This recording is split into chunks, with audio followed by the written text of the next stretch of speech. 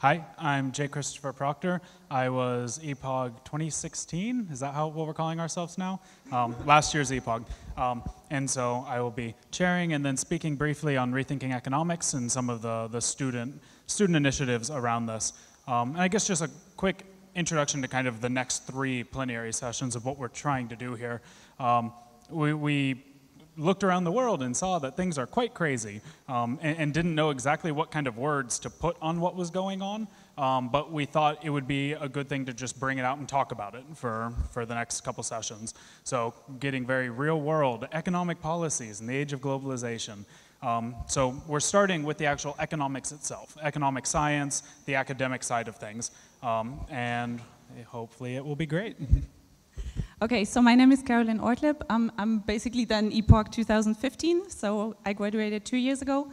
Um, and yes, so we have uh, two great speakers today. First, um, Juan Graña, I'm professor of economics at the University of Buenos Aires in Argentina. Um, and he will talk, but first we'll have a presentation by Marc Lavoie, professor of economics at Paris 13. And uh, yeah, so basically I directly give the word to you.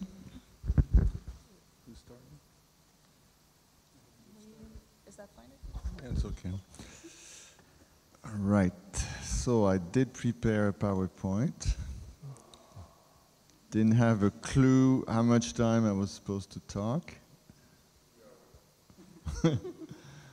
yeah, well, I'm not a French economist. Okay, so this was. This this is the the topic that was assigned to me uh, by uh, well in particular Joël. How has the mainstream adapted to or learned from the changing economic landscape in the aftermath of the crisis? It's quite a long, uh, quite a long title. Um, so uh, I've been asked in the past about a little bit about this, uh, and so uh, I'm, I'm going to use some of what I have prepared in the past. There may be a, a few slides that uh, the EPOG 2016 have seen last year, but hopefully not, not too many. And any, in any case, I've been told to talk 20 or 25 minutes, so I'll have to skip some of these uh, things. Okay, I was at the University of Leeds uh, a few weeks ago, and what the students there uh, started with on this topic was this statement by Olivier Blanchard, which is fairly recent. The crisis was a traumatic event during which we all had to question many cherished beliefs.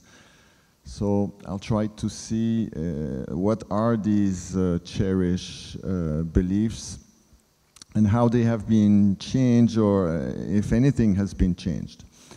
Um, maybe just a, a short uh, course on what is a paradigm, because after all, we, the mainstream is the dominant paradigm.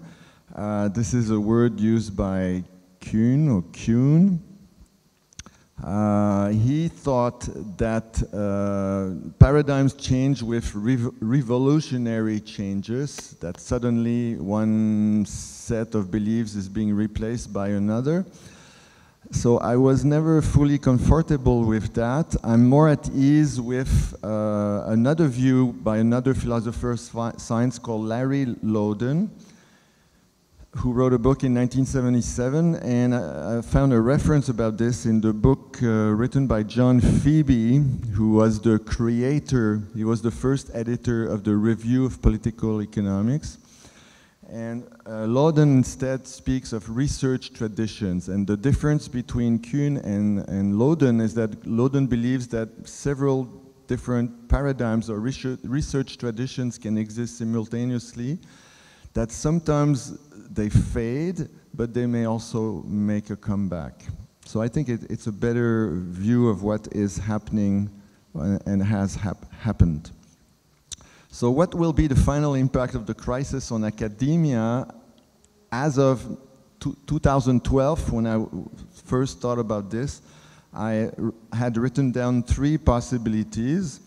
So the first one uh, was that the mainstream uh, would become even tighter in its beliefs, that things would be uh, even, even worse, if you want, for anybody believing in something else than uh, the new consensus model or the real business cycle.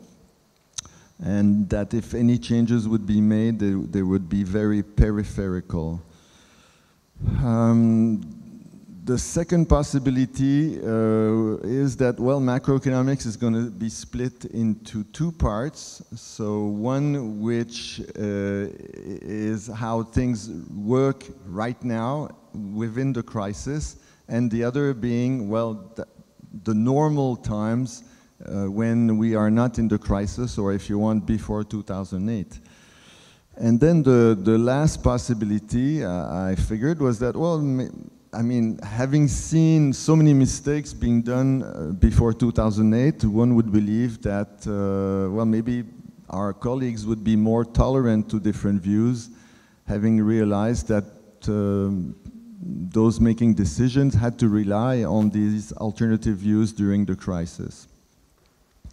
At least uh, alternative views that can be formalized. And, uh, and, then, well, now I believe there's a fourth possibility, uh, which is a dismissal of the current macroeconomic theory. Um, right after the crisis, there were a few people who argued that uh, the current macroeconomics was a big waste of time, but now there's more of that coming out. And in particular, uh, one person I know personally, Bill White, who was uh, the chief economist at the Bank for International Settlements, now working at the OECD, in 2009 wrote, the crisis provides evidence that the simplifying assumptions on which much of modern macroeconomics is based were not useful in explaining real world developments. So obviously it should be replaced by something else. Oops, wrong Where is enter? Okay. okay, so the outline is I'm going to talk a little bit about micro, I'm going to talk about macro, and I'm going to talk a bit about how economic policies have uh, changed. Uh, on micro, uh, I should say that in 2009, my belief then was that if there was to be a big winner uh, because of the crisis, it would be new behavioral economics. Um, and this was also what uh, Sheila Dow argued uh, in a paper in 2013. And I, I, remember uh, around 2009, at least in Canada, the, the different government agencies were desperately looking for people in behavioral economics. On top of that, behavioral economics have had uh, recent, um, well, so-called Nobel Prizes. And, uh, and then in 2013, as we know, Robert Shiller got a Nobel Prize. Just as an anecdote, I should say that I heard Robert Shiller make a presentation in New York City around 2002, 2003, and my impression then was that he, was just a closet post-Keynesian. I mean, he was making exactly the kind of arguments that we were uh, making. Um, well, uh, what do post-Keynesian economists or heterodox economists uh, say, or how do they react to new behavioral economics? Uh, there are five reactions. Uh, I think most of us are just ignoring it, except for a few uh, economists uh, like John Harvey and Giuseppe Fontana. Then, uh, as, as they became, I mean, with the Nobel Prizes that they got and, and so on, there was uh, big excitement. This seemed to be the next uh, best thing that ever happened to us. Um, and as I said, well, people like de Grove, uh, Shillers look like closet post-Keynesians. And then there was some kind of disappointment. I, I remember reading the book by Akerlof and Shiller called Animal Spirits that lots of people said it, it was great. And I was rather disappointed, and John King also had the same uh, reaction. By the way, I should say that it's not everybody who gets excited by Akerlof because Akerlof came to give a, a, a, lecture at the Canadian Economics Association a few years ago. And um, I mean, it's only older people who seem to appreciate what he was saying. All the young guys, young Turks of neoclassical theory, uh, thought, well, you know, this is completely uh, use, useless. Okay, and then so there's a kind of distrust vis-a-vis uh, new behavioral economics. I'm going to split this and move on to uh, macroeconomics.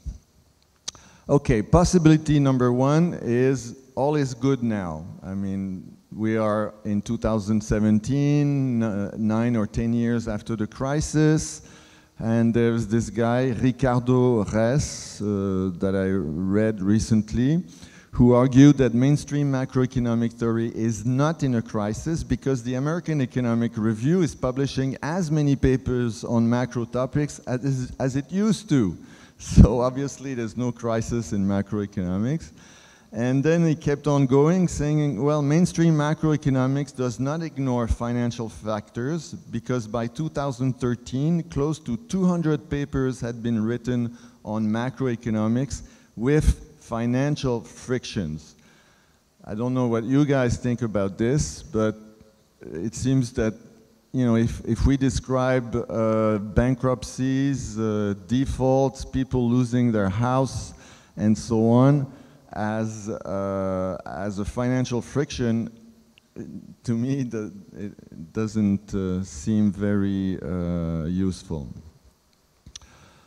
Possibility number two is, as I mentioned at the very beginning, a dual macroeconomics, and this kind of argument can be found in the book by Richard Koo, uh, uh, which was written, in fact, before the crisis, but it was, it's, it's before the US crisis, but of course, Japan has been in a crisis since 1990.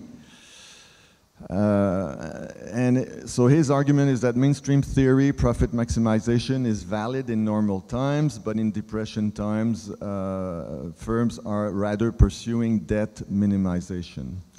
And uh, Paul Krugman is, is more or less saying the same thing in his book, Depression Economics, and DeLong and Summers uh, also in a paper published in 2012. So that's another way to see uh, things. In particular, there is this uh, claim that everything changes once we reach the zero lower bound on interest rates.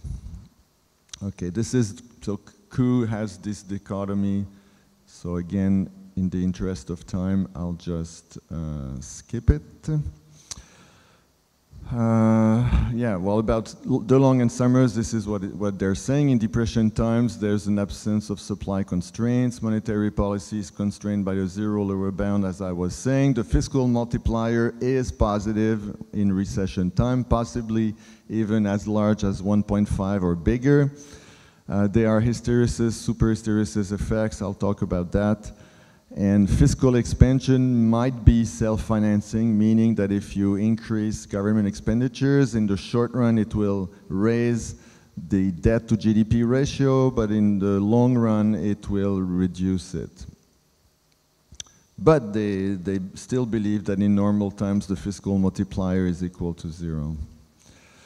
Possibility number three, so I think I mentioned that last year, more tolerance. So here you have a statement by Olivier Blanchard, which I found very interesting. He's saying 100 intellectual flowers are blooming. He's talking about Hyman Minsky. He's talking about these Kaldorian models of growth and distribution that you've heard about. He's talking about monetary financing of the fiscal uh, deficit, and you know some very well-known people do uh, put that forward.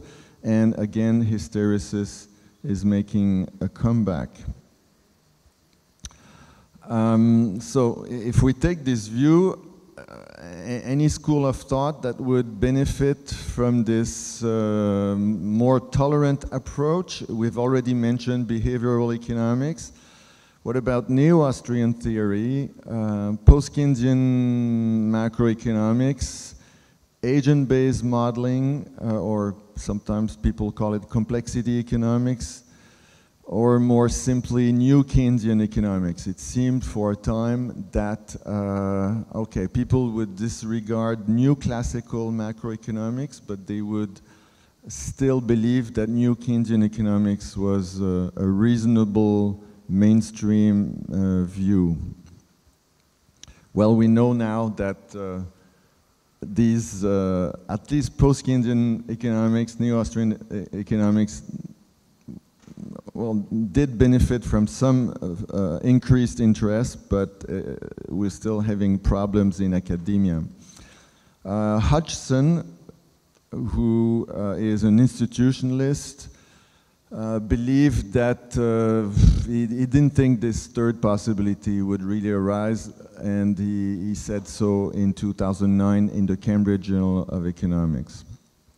Finally, there's the fourth possibility, which I had not really uh, considered, where you have a, large number of famous economists who uh, really believe that both the new classical model and the new Keynesian model uh, are just not, just not up to task. So you've got Stiglitz saying that part of the reason we got into the crisis was because of these models. Uh, Bill White, which I mentioned uh, before, uh, says, well, these models, with these models, it's impossible to have a crisis, so they can certainly not be uh, useful.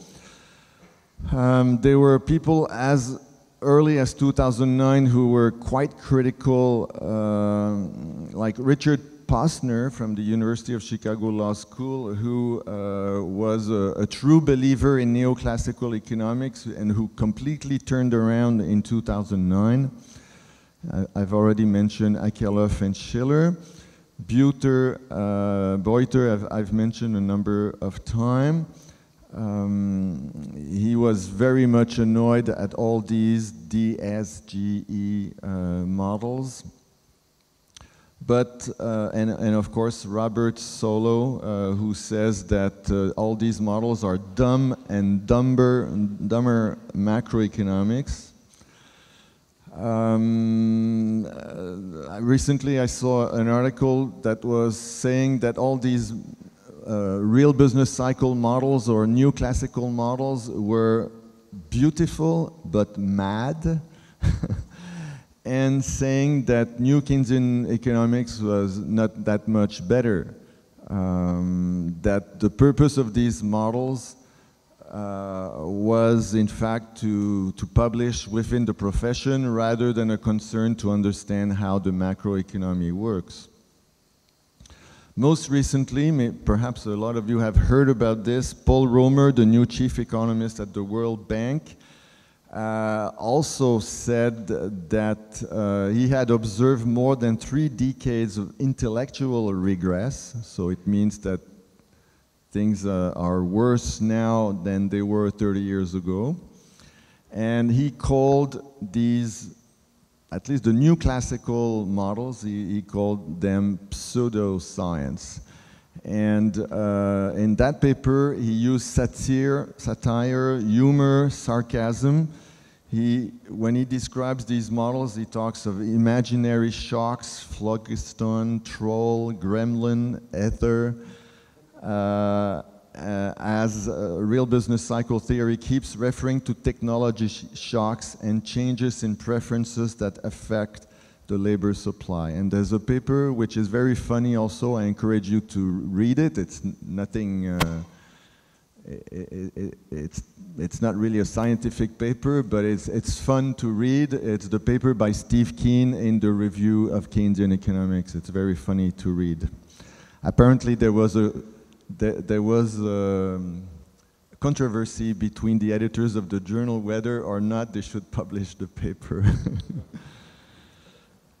um, Right, uh, and then a, a, number of people have been saying that DSG models are only good uh, when nothing special. So when the economy is nearly uh, flat, not you know being in the great moderation, then they're good. But as soon as you get out of that, then they're completely uh, use, useless. And then uh, something that struck me was a presentation by Justin uh, Wolfers, who was a student of Blanchard and who was a co-author of Blanchard and is fairly well known. And at uh, a conference in honor of uh, Blanchard, to honor Blanchard, he uh, made a presentation where he had e exactly this slide, uh, things that probably are not true, and he says rational expectations, DSGE models, consumption Euler equations, Calvo pricing, new Keynesian Phillips curves, and the classical dichotomy between money and, and the real world. So if, if you take this away, I mean, if these things are not true, then in my opinion, and I guess in his, there is not much left of mainstream macroeconomics. Okay, I'll skip Colander because when he talks to uh, to mainstream people, he says DSGE models are great, and when he talks to us, he says they are terrible. yeah, I have uh, something to. I've got something against. So, do I have five or five more minutes, or? Yeah. Okay. Uh, the relation between economic theory and economic policy, there are two views on this. So Keynes used to say that uh, politicians are following the views of dead economists, so we are influencing politicians. But Paul Samuelson had the opposite view. He thought politicians and business people were influencing uh, economists. So he was saying if you want to understand what economists most economists are saying, then he says you have to follow the money. Okay, um, so any change in, with respect to policy? Well, we can certainly say that in 2009 there was a Keynes moment, or uh, maybe also a Minsky moment, where suddenly all governments started pursuing Keynesian policies expansionary uh, fiscal policies and so on. Um, one could also say that the IMF has changed uh, to some extent. Uh, I, I, recently wrote a, an article with uh, a postdoc uh, on this issue. And uh, my colleague Mario Seccareccia has uh, come up with a, a, word to explain this switch at the IMF and this switch in the way fiscal policies is being seen or perceived by all governments except those in Europe, which is called new fiscalism, which means that, okay, when things are really going wrong, we should, be have, we should have Keynesian policies um, but as soon as they seem to be going slightly uh, better, when there are green shoots, as it was uh, said, uh, then immediately we should go back to sound finance. We should try to balance the budget again. Uh, one thing that my friend here, Dany Lang, uh, certainly likes is, is the fact that there's hysteresis and superhysteresis is coming back. So the idea that if there is a negative shock on the economy, either for some external reason or because of the monetary policy of the central bank that tries to slow down inflation, this will have uh, long-term consequences either on the level of potential output or on uh, the rate of growth of potential output. And this is an idea that was long defended 15 years ago by those two uh, post-Keynesians, Leon Ledesma and Thirlwall, and many others. So I'll skip this. Uh, the staff, uh, well, th there's at least one person at the IMF who has completely changed uh, his views on uh, and what happens, and this is Jonathan Ostry. Uh, proudly, I can say that he was a student at the University of Ottawa in the early, well, in the mid 1970s, so I was not yet a professor there. but he, he, finally came to his senses uh, after a few years of the crisis. So here you have all the things that he's now saying, like capital controls are bringing more inequality. Uh, if you have more inequality, you'll have slower growth. And I, I, I ask, well, if, if capital controls are bad for income inequality, what about free trade? Isn't that even worse? And he, tell, he told me, yes. Uh, I'm, you know, I'm a little bit uh, puzzled about this. and then he wrote this paper with a couple of colleagues on the belief that neoliberal policies may not have had such good effects on the economy. When we do the EPOG interviews, we often ask the question, what do you think about uh, free trade and uh, free capital movements? And then a lot of these EPOG students tell us, yeah, this is the greatest thing that has ever happened. Uh, so they don't become EPOG students, yeah.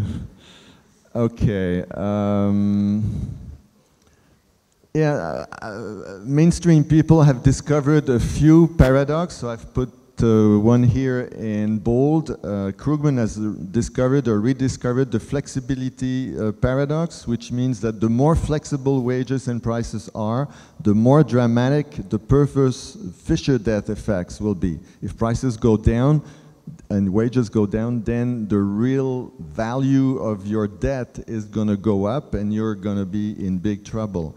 And there's another one which I found also very funny, is the one put forward by McCulley, Paul McCulley, who is the inventor of this expression shadow banking. And he, he has the paradox of degrading standards uh, default rates are low because of the degradation of underwriting standards. You know, at the beginning, as everybody is able to get loans, then everybody is able to spend, and therefore anybody that has an asset or a house will see the price of this asset or this price of house go up, and therefore these degrading standards will give the impression that everything is for the best. Okay, I'm being given lots of signs here, so I will stop here. Thank you very much.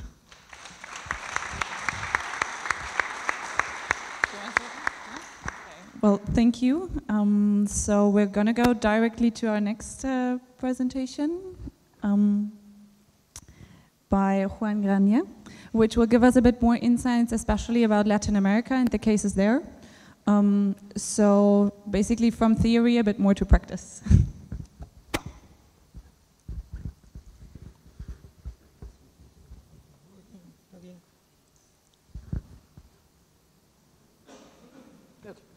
Well, first, thank you very much for the invitation. It's an honor to be here, flying from Argentina. So, uh, I, I was told by Joel what uh, Marc was going to present, so I, I advanced a little on what is happening in Latin America. And as the title of the presentation states, not much. The right, the neoliberal policies are the same, and they keep coming back. And they keep came back, especially in Brazil and Argentina in the last couple of years. So first, I want to show you a little bit of what the neoliberal policies do to countries, especially underdeveloped countries, and then I'm going to change the focus from neoliberal or orthodox economists to ourselves. What are we saying to governments? What is the policies that came through our science in order to prevent from neoliberal to keep coming back to the government? So Let's start. As you can see, this is the evolution of GDP in Argentina. You can see the, the really big recession in 2002. It's really big. And the growth that happened in the 2000s and the stagnation that uh, started in 2013 and it's still there with a couple of years of recession and growth and recession and growth. But if you see Brazil, the recession wasn't so big in 1999, but the Dilma Rousseff last year and the coup d'etat with Temer was really harsh on the Brazilian economy and it's in a big recession since a couple of years ago. If we see the wage share, this is Argentina, again, the, the effects of neoliberal policies in the 90s, it's quite evident. The crisis in 2002, the devaluation of the peso, the downfall of the wage, uh, of the real wage in 2002, and the recovery thereafter, and the stagnation in the last years. If we see Brazil, the 90s is again a bad, bad time, and the 2000s, it's a little bit better, but not marvelous. If you see unemployment, Argentina first, which we reached a hike of 25% of the economically active population in 2002, Then the recovery was uh, quite intensive in employment and the unemployment fell down to one digit and remained there since then. If you see the last two years, the unemployment is again on its way up. Brazil, for instance, again, the 90s, a really bad time, the 2000s a little bit better, and a couple of last years have been really rough on Brazil. Just to see balance of payments quite quickly. Let me picture everything. As you can see, Argentina has a structural deficit on income. This is evident. A lot of uh, foreign companies remitting utilities, benefits, and, and what else. But during the good times, we managed to pay that balance on income with, uh, with a balanced trade uh, superavits. But in the last years, with the downfall of international prices, the current account deficit grew quite unsustainable, and we, as every country does, uh, went to foreign debt in order to pay that. But as you can see, it's not the best way to manage an economy. If you see Brazil, the same picture comes, obviously in bigger numbers, since Brazil is a bigger economy. Let me, as you can see, since the 2010, Brazil is running a, a current, uh, current account deficit, big current account deficit, financed with debt, especially debt. So, in order to summarize quickly these, these trends, you see, of course, the neoliberalism didn't fulfill its promises of growth, income, uh, employment, and stuff and the first decade of this century was quite good. But, and this is really important, the last years where stagnation came in, when uh, foreign or balance of payment deficit kick in and, and certain problems started to be really bad for the economies. Argentina and Brazil. Brazil started first, but both economies were hard on employment, on wages. But moreover, when right-wing parties took office, those trends, those bad trends, worsen. In Argentina, where last year was a big recession, Brazil is in a big recession that it's trying to recover. This, this year, unemployment went up, real wages were down. So I think these trends, this stagnation in the last years of the progressive po political processes opened the way, opened the, the door for the right-wing parties to come back to power. So I think that's where we need to focus on what we do, we as a progressive people, economics and stuff, do when we get to office. But just to say that the right is the same right that it's always been the same right in Latin America, we see the Macri and Temer agenda. In the first few months, a drive for government surpluses with foreign debt, labor and social security reform, both in Argentina and Brazil, Brazil uh, is trying to get a law to banish fiscal deficits for a long run. Argentina, it's reforming labor markets, it's reforming social security. We have a liberalization of, of financial markets, and we have in both countries the, the drive to accelerate negotiations of foreign trade. First, Argentina and Brazil tried to, to get into the TTP.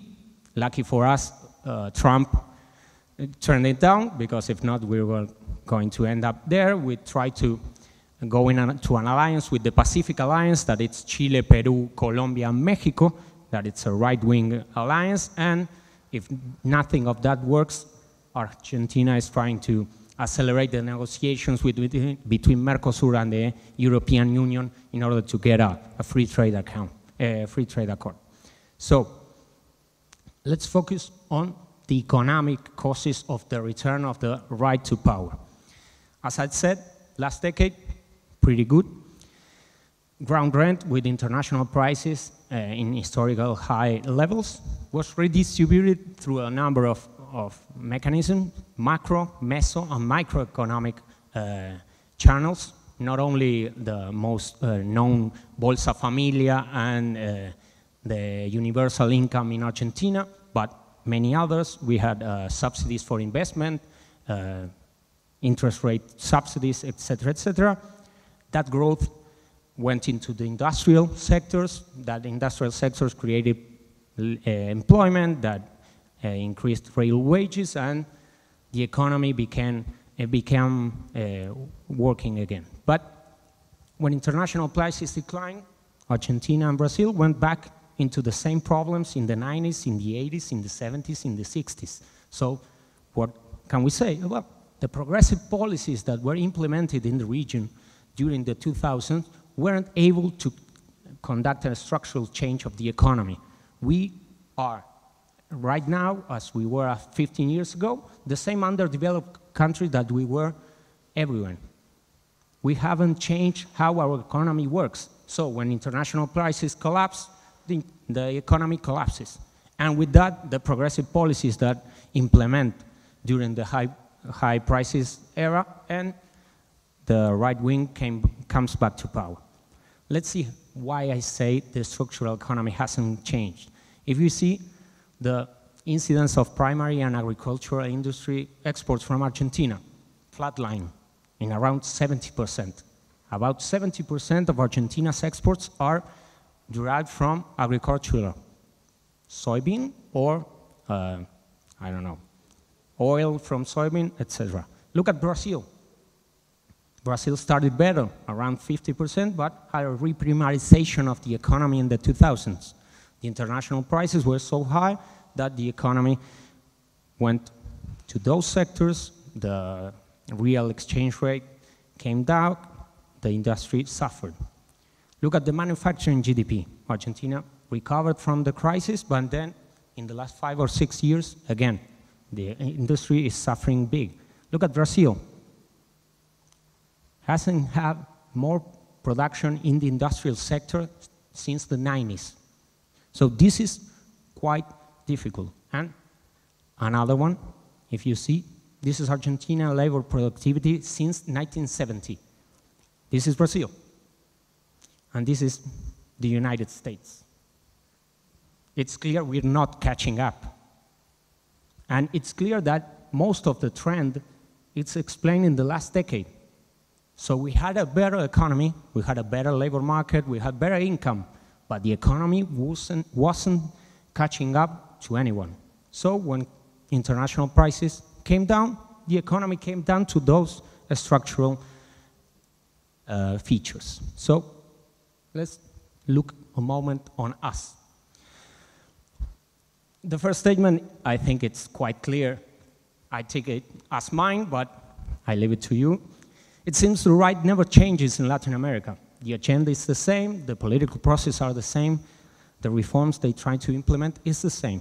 So it's at least partly our fault they keep coming back. The partly was suggested by something, someone in the audience. I, I wrote directly, it's our fault. But let's put that, it's happier sentence. So if we consider development not as a pushing on the aggregate demand to get out of crisis, but from an underdeveloped country trying to catch up with the, uh, with the standards of living of the developed world, the United States, Europe, or whatever model you try to follow, structural change is needed. The economies must change what they produce, how they produce it, and who do, we, do they employ, how they pay wages, how uh, social security works, and stuff. So, for that, state intervention is essential. There's no room for neoliberalism in Latin America. They keep coming back, but there's no solution for us in retrieving the state from the economy. So, and this is a question for you to, in the audience, several questions need to be answered, both simultaneously and coherently. We can't say we're going to do take these policies and these policies that don't match. We have to answer everything in order to have a plan, in order, when we get to the government, try to implement it. Just a few issues, don't worry. It's big issues. Just a few, but big. Which sectors or firms should be encouraged in order to get the economy to change? Is it sector-based? We have to focus on manufacturing. Is it big firms? Or is it SMEs? Who do we encourage? To answer that, we need to look at their employment generation, what kind of wages, what kind of uh, labor force they employ. Do we have the, that labor force? Do they invest? Do they export? We have a balance of payment constraint. Do they do R&D? Do we have an answer to this? Or every economic or, or every heterodox economist is saying something different? No, we don't have a consensus. The neoliberalism does have a consensus. No state. What is our answer to that? We don't have one. How is the best way to finance that effort? Foreign debt? Argentina doesn't have a good run with foreign debt. You probably picture that. Foreign investment, attracting foreign companies in order to invest in the country. That's not the best idea. Do we capture natural resource rent? From the heterodox, we know that it could be a curse from natural resources or it could be a fine fountain of resources. Which is it? Is it bad to have natural resources or is it good? We don't know. How are we going to promote working class welfare? welfare? Particularly those affected by structural change, because someone is going to lose its job when the sectors change, when the firms change, when the geographically uh, economy changes. Do we know? We're discussing about labor market based. Do we have to go through minimum wage policies? Do we have to go to labor unions? Do we have to apply universal income as Finland or as every other country it's promoting? Do any of these questions are coherent with the other ones? I think this is the problem. And above all, this came up in several of the panels uh, during this day. How do these structural change policies match with the stage of capitalism as it is? How do Argentina or Brazil catch up with the United States or Europe in the era of automation or in the era of delocalization? Do we have something to offer the International Division of Labor, that it's not natural resources? Is it cheap labor? Let's hope not, because it's got to get really cheap in order to get that position in the International Division of Labor. Do you have R&D? No, we don't. So, what is a place in Latin America for a development scheme? I think, and that's my small contribution, that is a, a small task as a heterodox economists to question how we're going to develop a scheme for underdeveloped countries in the, in the 21st century. Thank you.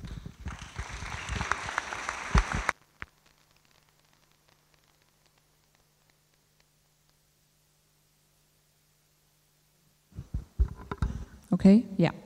Thank you very much.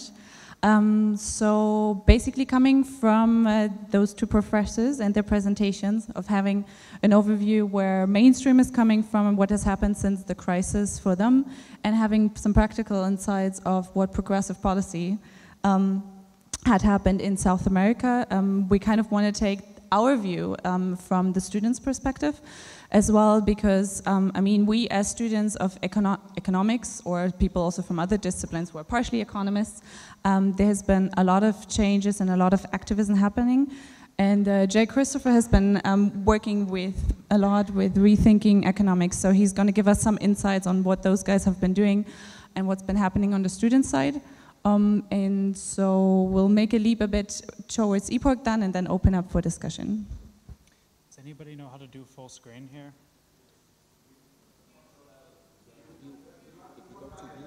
You?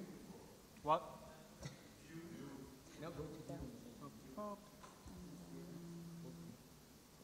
Thank you, crowd. Um, hi, so I am still J. Christopher Proctor, and just uh, so a couple quick words about what some of the students are doing. Um, I think a lot of people in this room will already know quite a bit about rethinking economics, but I know for a lot of others you don't know all the cool stuff we're doing. So I'll just do a quick update. Um, so first of all, what is it that these students want? What, what started this whole thing? The first thing is real world economics. Uh, rethinking came out of the crash, came out of 2008, with students who were being taught all kinds of things in the textbooks that just didn't match up with what we were seeing in the real world. There was no crisis, there was no climate change, all of these fairly basic things that we think we should be studying in an economics class weren't there. Um, the second question is diversifying economics. So when you do an undergraduate degree in economics, you feel like you're getting all kinds of ideas thrown at you. But if you look closer, you can realize that it's actually just the exact same book, the exact same ideas being repeated over and over again. So diversity in ideas, but also diversity in people and who is being presented, what kind of ideas and approaches are, are going on. Um, and, and, then the third thing that we've really taken on as part of our mission is the idea of demystifying and democratizing economics. Economics can be a language unto itself that very often serves as a barrier for normal non economists to understand what it is we're talking about. And this is an interesting problem because it's just as big of a problem for the heterodox community as the mainstream community. So this has been something we've worked quite hard to try to bring economics outside of academia and create a place within the public where we can talk about these things. Um, so if you're interested in any of that, welcome to Rethinking Economics. This is, this is us. Um, so where are we? Um, pretty much everywhere, but quite Europe and quite UK focused. Um, one note, there are a lot of other groups doing very similar things to Rethinking Economics. Um, the ISIPE, the International Student Initiative for Pluralism and Economics, is sort of a larger umbrella group. Um, there are a lot of people here who can talk about that more, but rethinking has sort of been my last three years, so that's what I can present best. Um, but this is, this is our spread, and what do we do? So the real core heart of rethinking is local groups. Uh, most groups are university based. So we have one in Kingston, there's one in Torino now, and we host lectures and debates and reading groups and discussions, and we invite people in to try to create the debate that we didn't see in our curriculum. Um, so that's, that's really what it looks like in terms of day to day being in a rethinking economics group. Um, the other side of that is lobbying universities uh, where this has taken on a very different flavor in different universities. So at Kingston, for instance, we weren't necessarily trying to fight with our university to get more pluralism, um, but trying to help the university to see like what can we do together to get somewhere. Whereas somewhere like Manchester, they've been at all-out war with the university to get any inch of pluralism introduced. Um, and then conferences have been another big thing. Things like this where we can get to know people face to face and really start to build ideas and projects and have bigger things come out of that.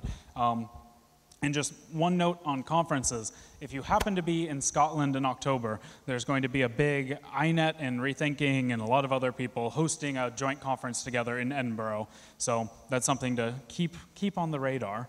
Um, but the, the main thing I want to talk about is some of the bigger network projects that we work on. These are the, the big ticket items that we get quite excited about. Uh, so the first that I'll, I'll mention briefly is the Econocracy.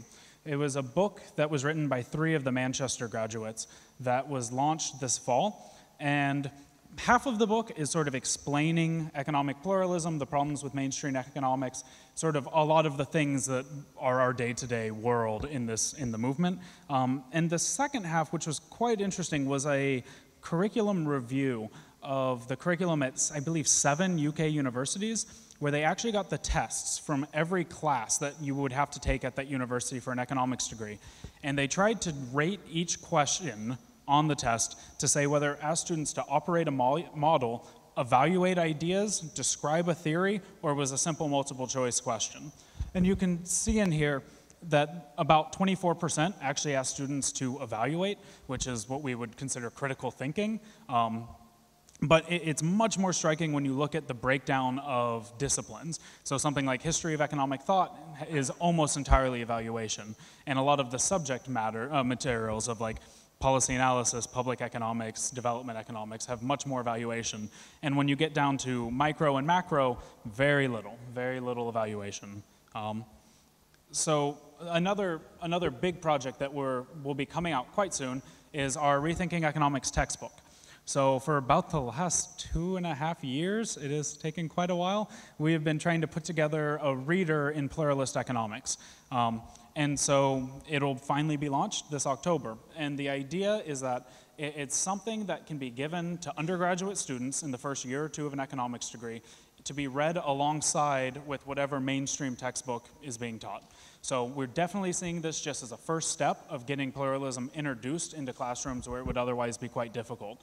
Um, and the hope is that it will make it much easier for sympathetic professors and lecturers to do something without having to go out and design an entire course or an entire program. Um, and so just the, the, the, kind of heart of what this project is, is we wanted to create the kind of book that we wish that we had had when we were starting to study economics. And so you can see the, it, it's arranged by schools of economic thought, and we have a couple of the authors in this room, and we are very thankful for to you. Um, and this will be available in October, and we'd be very thankful if you guys would uh, support that. And just the, the last major project that we, we have is economy.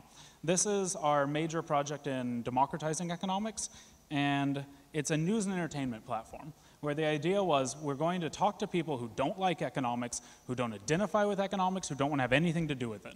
And we're going to talk to them about things that don't sound like economics normally. Um, so a lot of entertainment, basic news items, football, uh, politics, and then try to slip in the economics or explain economics where we can. Or the, the flip side is when there are really big economic stories that we can't avoid, that we're going to try to take those head on and explain them in as simple of terms as possible of just what is going on.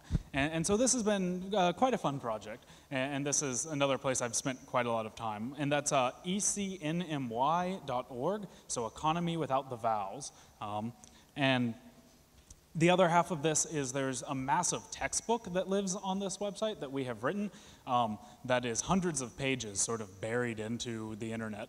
And it's our guide to understandable economics. So the idea is that we've taken bite-sized questions, things like what are interest rates, and then try to do a 300 to 400 word explanation using as little jargon as possible of what that is, and then linking to all the other places that that would be important. So on here there might be a link to what is monetary policy, or something like that, to where you can really kind of jump around and learn quite a bit about economics in bite-sized chunks.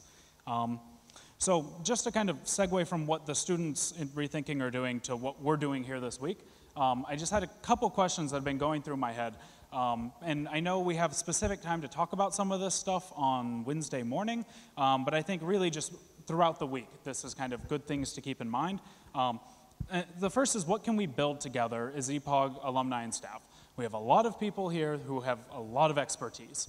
Um, and it wouldn't be too difficult if everyone was able to commit a little bit of time to organize something together that was quite, quite useful and quite big and impressive. And so that's the kind of thing that we're thinking about at Rethinking. Um, just one quick pitch for an idea that we're in the developmental phase of, but we're at Rethinking Torino, we're thinking about trying to create some kind of master's thesis archive to where people could publish online their theses um, and just have somewhere that it lives online so people can search it, people can cite it, and it can be out there in the world. Um, and, and, if you're interested in that, please talk to us because we're sort of hoping to start taking that project more seriously in the next month or so. Um, the next question is how do we get out of our bubbles?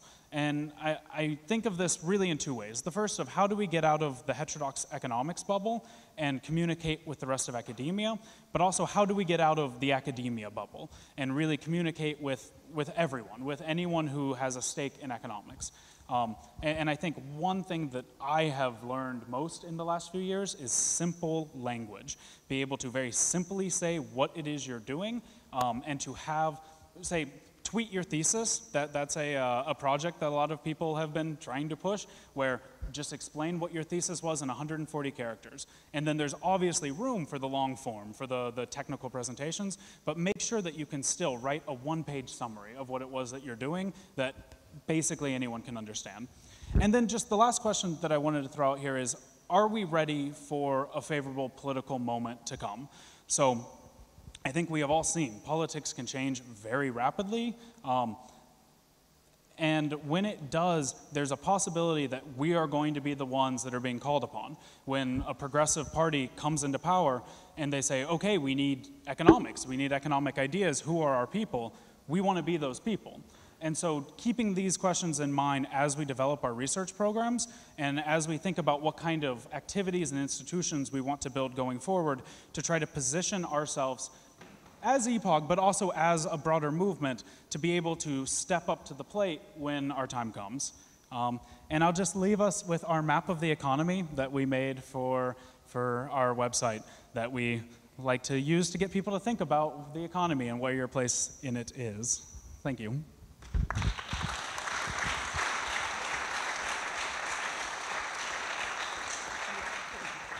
Well, thank you for that lovely introduction. Um, uh, to have actually the student part and what you guys are doing, and that's pretty impressive. And there's a lot of projects going on, and it seems like uh, Rethinking has been doing in the last years a lot of things, and um, also taking this into connection maybe to ISIPE, where um, I know lot, quite some students of us have been active on different countries and different national groups. Um, and that's actually the, let's say, connection to EPOG because many of us are doing things, they're doing things in their private time and they take their time in order to um, fight for their beliefs. Um, and so the thing is that within EPOG, we, from, since the beginning, there was the idea that an association within the students and the alumni between Epoch could be a platform where we can actually channel all those efforts and where we can possibly build some of those projects and ideas and realize them. Um, and it's been quite difficult to establish something like that, partially, well, definitely due to the fact that we're all very busy during the two EPOG years, um, and also afterwards, people are getting out, there's other stuff happening. But um, the developments we've done, we've done two meetings in 2014 and 2015 um, with representatives of kind of, um, in 2015, of all the cohorts that are also present um, today and uh, those days here. Um, and the statutes for the association have come out, and we've advanced quite on that. And around Joel and that uh, group, they've advanced on this, and the statutes for the association are registered. So basically, we have a platform ready to go, which is just like um, my intention really to call upon you to come Wednesday in the morning um, and create something with us and to start building something, to get inspired by other projects people are doing, working together with um, maybe other gr student groups and having ideas and throwing up ideas we are having. How do we want to put our ideas out there? How do we want to communicate? How do we want to um, just go forward about like all the stuff we're discussing here? Um, so I think that's the main thing about the EPOG Alumni and Student Association that is quite important. And um, otherwise, I would love to open the room for discussions now, um, especially where we're coming from. Maybe do you have your three questions, though? You had like those three questions. I think that would be a great opportunity to start from that. The map's prettier. The map's prettier, yeah. um, so, should we start just opening up questions from the audience we have, especially um, for Marc and Juan?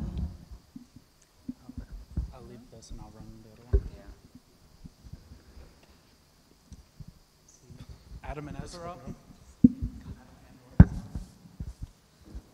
Hi, um, I'm Adam. I'm from the second EPOG cohort, um, and I just wanted to ask a question uh, that seeks to particularly tie the first two presentations together. Um, so I want to ask which contemporary heterodox intellectual traditions represent the best framework for tackling issues of structural change in the view of the presenters? Um, and I wanted to ask, in recent times, is there a partial neglect within some major heterodox streams to, uh, to grapple with development issues?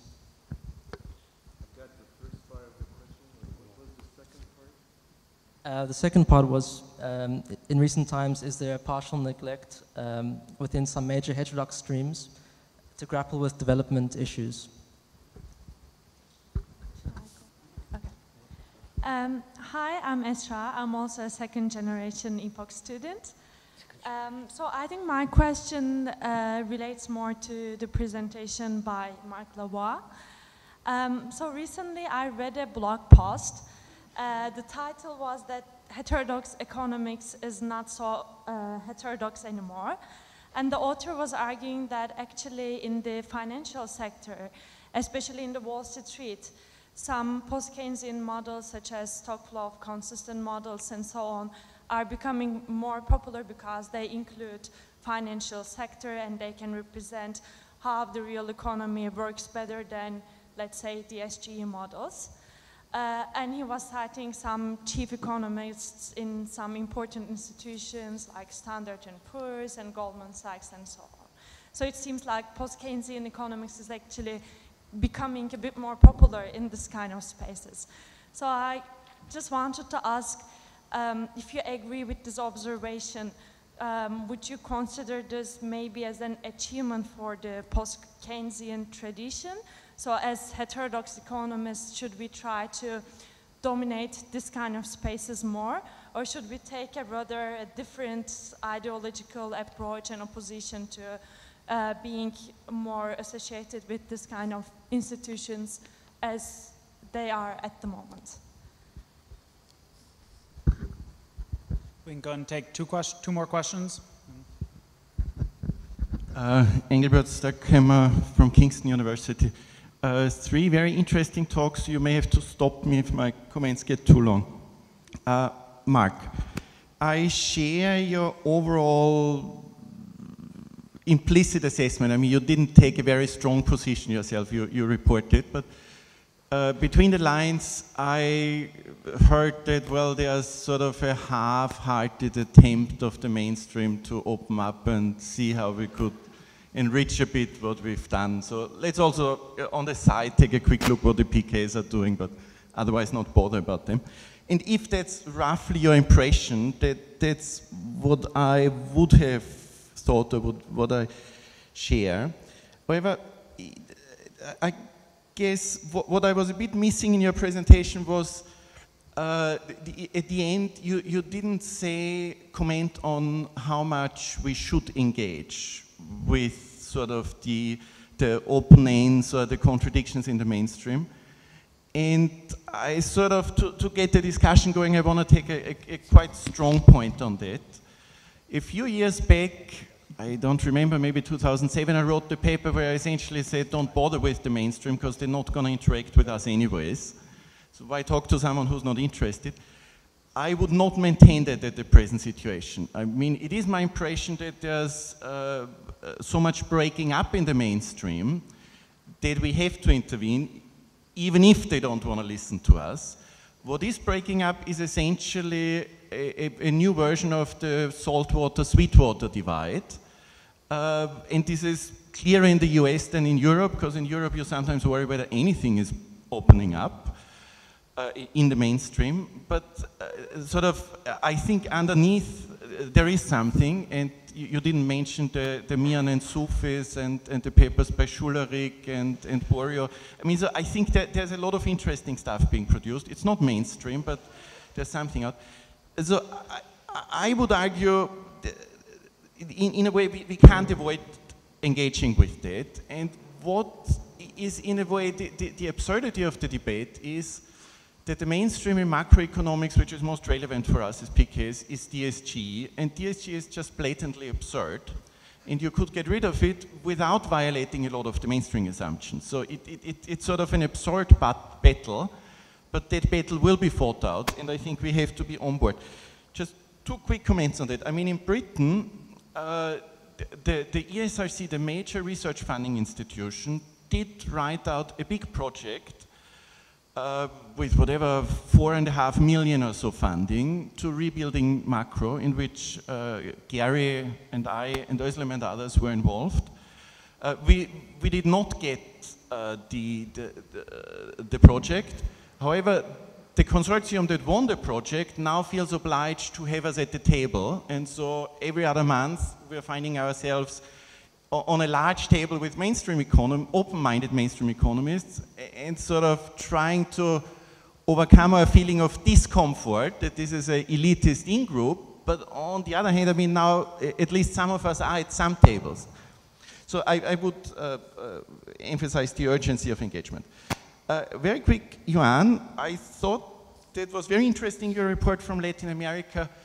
I think it's very healthy for us in the north to be reminded sort of this perpetuum mobile, that the, the, the, the, enemy is just coming back with the same old shit, one is tempted to say, running the danger that one is not using academic language.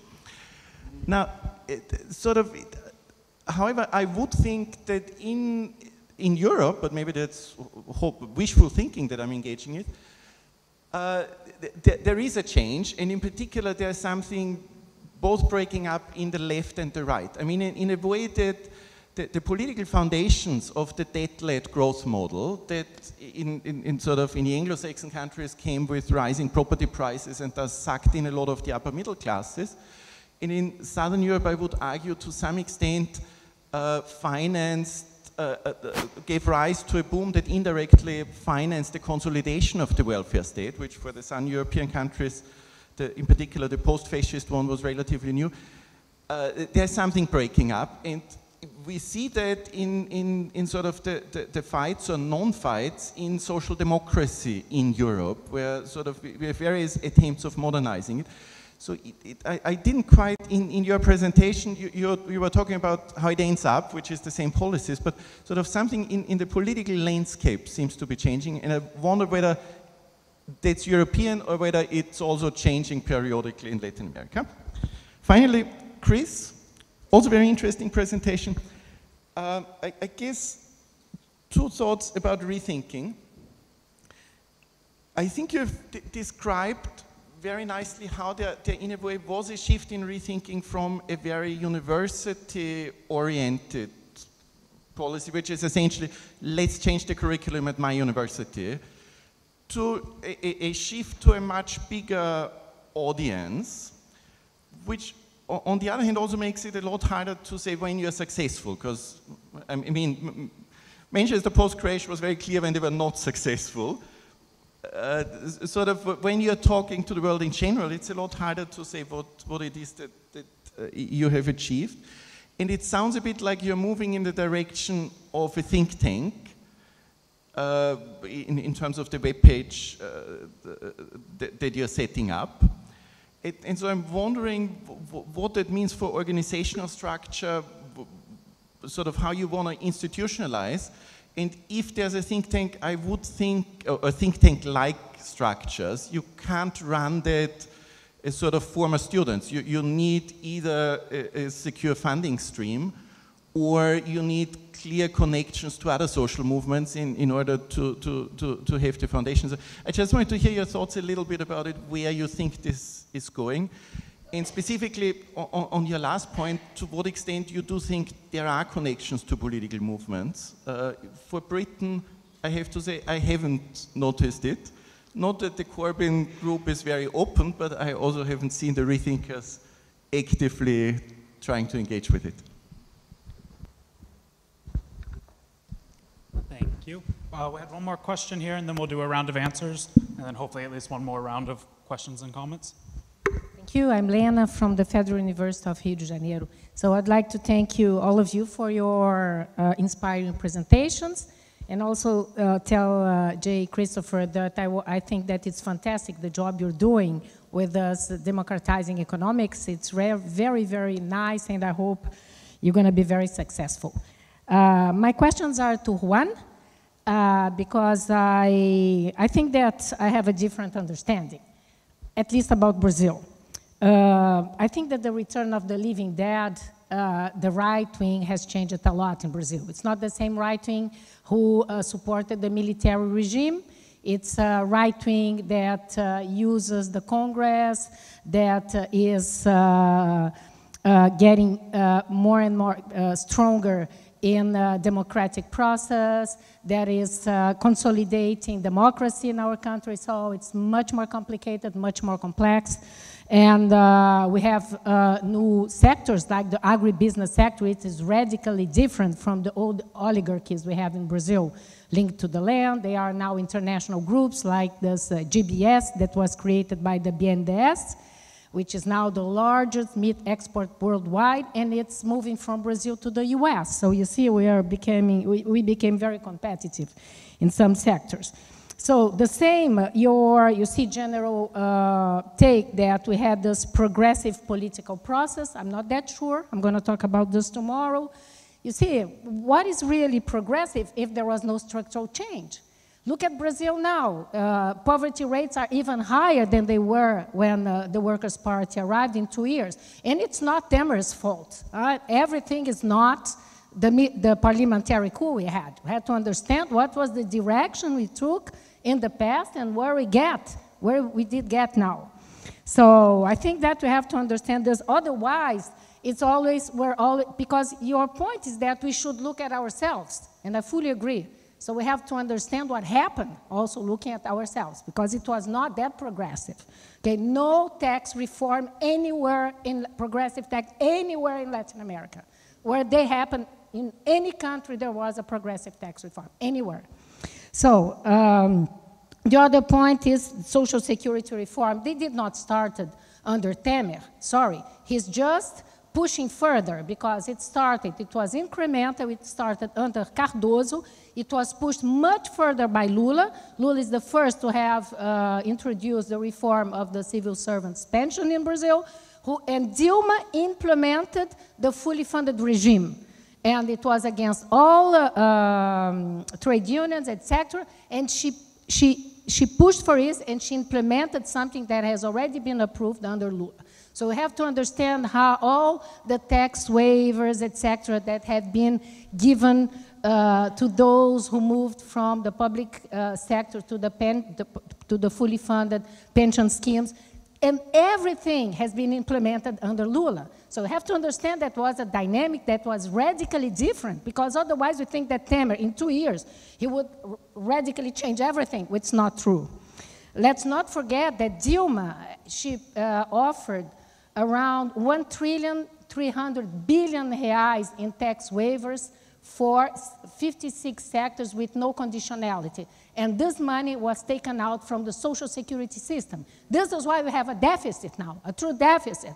Because, you see, the idea is that we're going to make them more uh, uh, competitive. It's not true. Again, the liberalization of finance, it's not new. It's increased and expanded under Lula enormously. And also the increase in domestic demand did not strengthen the industrial sector. I think that you have uh, data for the, uh, the growth of the industrial sector, aggregated data, um, including oil companies, the oil industry, and also the agribusiness because the industry went down, as you know, in Brazil, and most, uh, you see, the expansion of the um, uh, um, consumption in, in, in Brazil was mainly through imports. Uh, Carlos, uh, what's his name? Carlos. Carlos Medeiros. He wrote a very good paper showing that imports increased, just electronics, 38.8% per year under Lula. So it's not after Lula, it's under Lula, okay? So I think we have to look at things the way they happen, and uh, then maybe we will be able to, if the time comes, to enjoy this favorable political moment, first to change ourselves. Have some responses?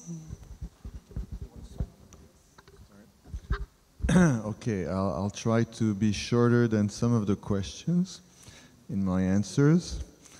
Uh, what's the best uh, what, what, what's the best tradition or economic theory on structural change? Uh, I would say it depends. You know, it depends of the question you're asking. Um, for instance, if you want to deal with the transition or the traverse to, towards green growth or degrowth or zero growth, uh, you know, I mean, it depends in what you feel uh, comfortable. So I, I, cannot give you uh, an answer. On development, I cannot give you an answer either. Every time I go to, say, Mexico, Brazil, or Argentina, I am being asked, what kind of policies would you suggest for these countries? I always answer, I bring you the theory, you are the experts, uh, you live in those countries, you're the ones who know whether the theory applies or not. Um, on the question on heterodox economics in the financial sector, uh, it's a good remark. Um, it is true that Goldman Sachs has been using this three balance approach of Godley for quite a long time now. Um, Minsky is of has always been popular among some people working in Wall Street. So when I was going to conferences at the Levy Economics Institute, there were always people coming there, you know, bankers, people handling billions of dollars or, or at least hundreds of millions of dollars of assets, saying I have this book by Minsky by my bedside and I, I read it uh, regularly before going to bed, you know, so it was always there. Uh, there are some people, uh, one person at BlackRock told me we don't hire neoclassical economists anymore because they are completely useless. We would rather hire a post-Keynesian economist or a historian or a, a mathematician or a physician or a philosopher. They are more useful than a neoclassical economist. Uh, on Engelbert's question about engaging with the mainstream, um, you know, I don't, I don't have uh, a set position. I mean, if we don't, I mean, it's an individual question. If, if one doesn't feel comfortable doing it, then so be it.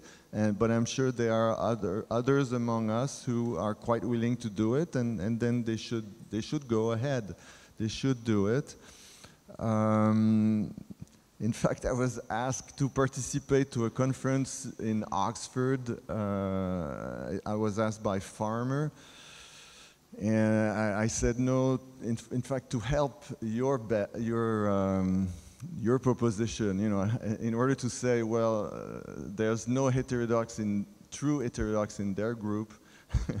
so I'm not, uh, anyway, so yeah, I'm sure it is possible to uh, go on with the mainstream, and uh, that's what I said. You know, you mentioned Borio. Well, uh, Bill White is in the same uh, boat. They're both neo-Austrians.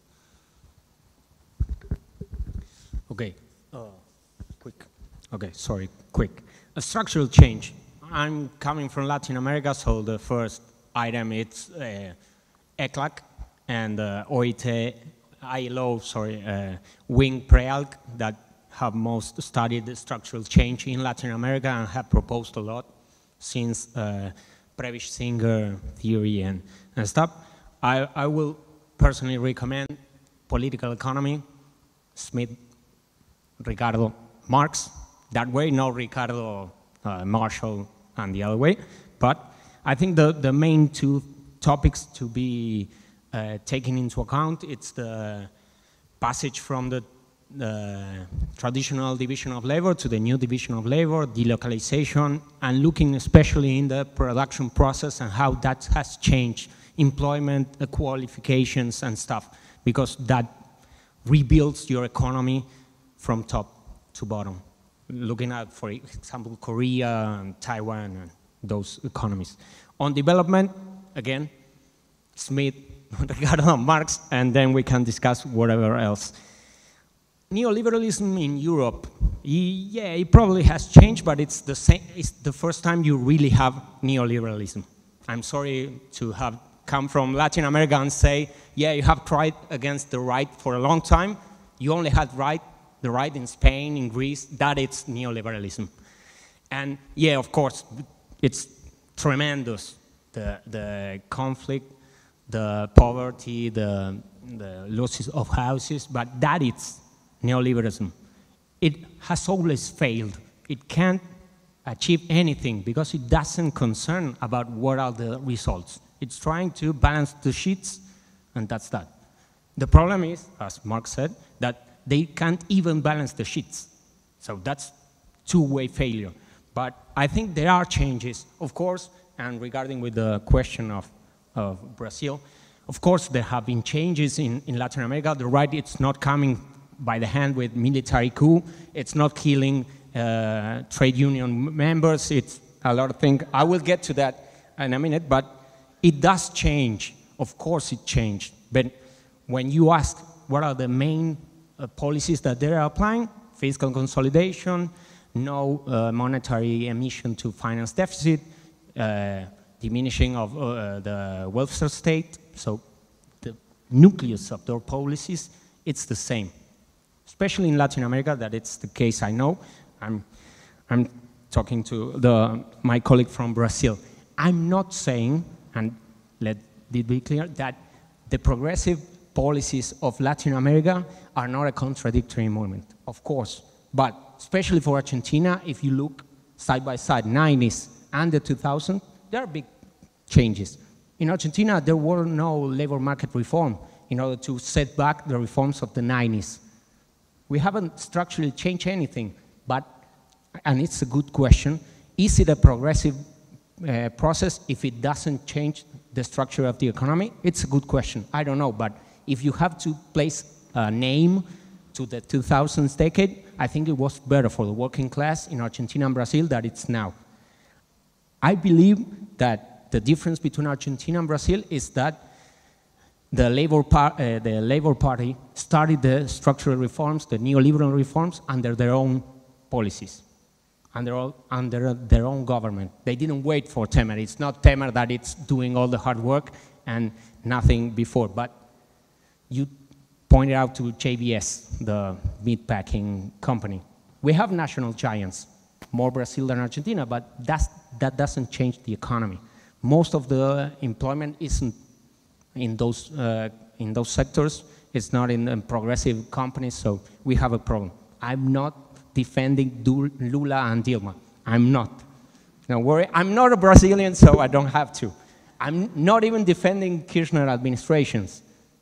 But I have to state, given what Macri, for instance, in Argentina, is doing just in one year and a half, let me get back to 2010. It's like, of course, there's a lot of problems, and they always have a lot of problems, but we are in, in the underdeveloped world for a reason. Nothing is easy. And that's the problem. But what should we do? That's the question. Then we see if Dilma and Lula were good or bad or right or, or left-wing parties. Thank you.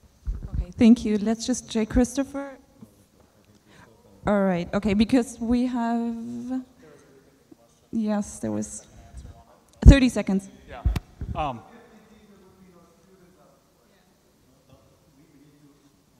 yeah. Um, yeah, just um, the future of rethinking, we're obviously talking about that quite a bit, so this is just my personal observations, but we're growing very quickly, and a lot of us are getting older and don't want to quit. Um, and so what I've seen is we're sort of adopting a spin-off structure where we have projects like Economy that start within rethinking and then become legal entities unto themselves and then slowly drift to be actual entities unto themselves with almost different people working in both groups. And I think that that can be promising for a couple different reasons, but particularly for being able to have like separate identities to be able to have a student movement that's saying like we are students, we're demanding this, and then to have another thing like a think tank that would say we're young professionals and we're doing this. The idea was floated at one point to do a uh, post-Keynesian hedge fund and actually try to like start making money and things. So we have more ideas than we have time, but I, I think the hope would be that there will be multiple different organizations and things that sort of come out of what is now both rethinking and the broader pluralist movement, because uh, the lines are blurred in quite a different quite a bit of places there. And back to EPOG. Oh.